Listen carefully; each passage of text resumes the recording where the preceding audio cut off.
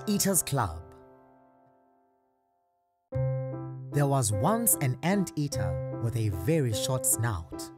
He had a great sense of smell and he could always tell where the best ants were. But his snout was too short to reach into the ant hills to catch them. This made the anteater very grumpy. He walked all over the savannah, but wherever he went, the ant hills were tall and he couldn't catch any ants. In desperation, the grumpy ant eater broke an anthill open, but inside it was full of fire ants. Ouch! He shouted as they bit him all over. Ow! Get off me! Three other ant eaters heard him shouting and came to his rescue. The big one picked him up. The middle-sized one led them to the river, and the smallest one, who had a very long snout, sprayed water on him to wash off the ants. We are the Ant Eaters Club, said the smallest one. I dig out the ant hills, said the biggest one. I plan how to catch the ants, said the middle-sized one. And I reach in to get the ants, said the smallest one with a long snout. Would you like to join us?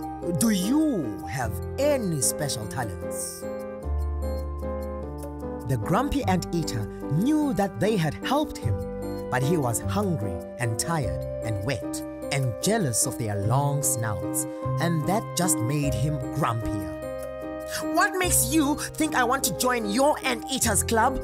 He said, I can find ants all on my own. and he stormed off all by himself. He walked for a while, but the further he walked, the sadder he felt.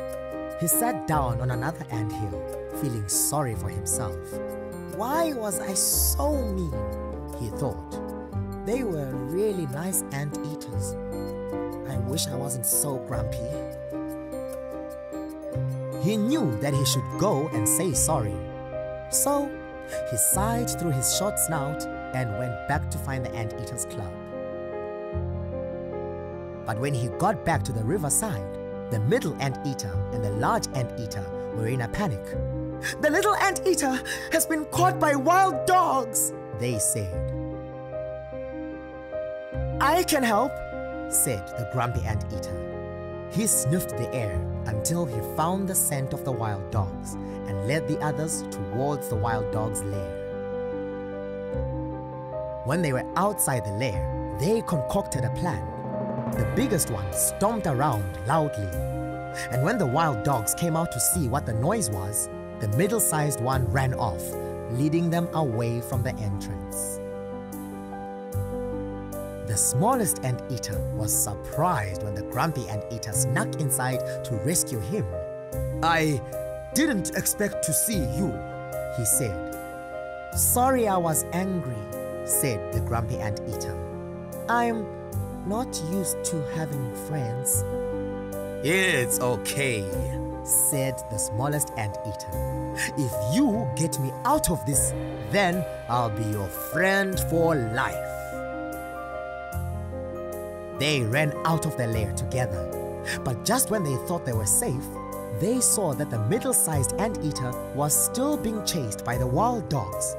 He couldn't get them off his trail. The grumpy anteater called out to the middle-sized one. This way! He yelled and ran back towards the fire ant nest. The middle anteater followed, with the wild dogs still hot on his trail. The grumpy anteater ran around one side of the fire ant nest, and the medium anteater ran around the other. The wild dogs ran straight into it, and the fire ants bit them all over. Ow! Ow! Ow! They yelped while the anteaters escaped. And from that day on, the grumpy anteater joined the Anteaters Club. He used his great sense of smell to find all the best anthills for them. And with a full stomach and three great friends, he wasn't grumpy anymore.